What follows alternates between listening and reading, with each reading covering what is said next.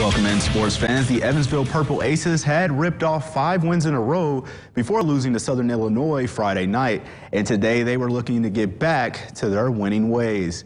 The Aces really seem to be dialed in for today's game. We begin in the third inning. Southern Illinois' Nathan's Bandy pops it high in a deep center field, but the sun gets in the defender's eyes and the ball drops. And Pierre Oliver Butcher scores Aces up 2-1. Evansville's Evan Berkey hits it in the left field, and Berkey puts on the speed around first, and he would slide into second base, and he's letting his boys know that, hey, baby, I made it.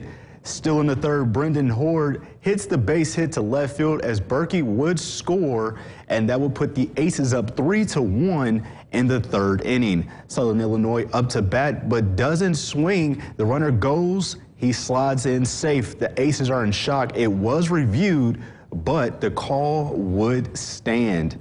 We move ahead into the fourth inning. Southern Illinois hits it hard down the third base line. The ball is high, but Tanner Craig goes high and comes down in time for the out. And still in the fourth, Ty Rumsey would send another into left center field for the Purple Aces. Good defense led to good offense, and Evansville would get the win 6 to 2.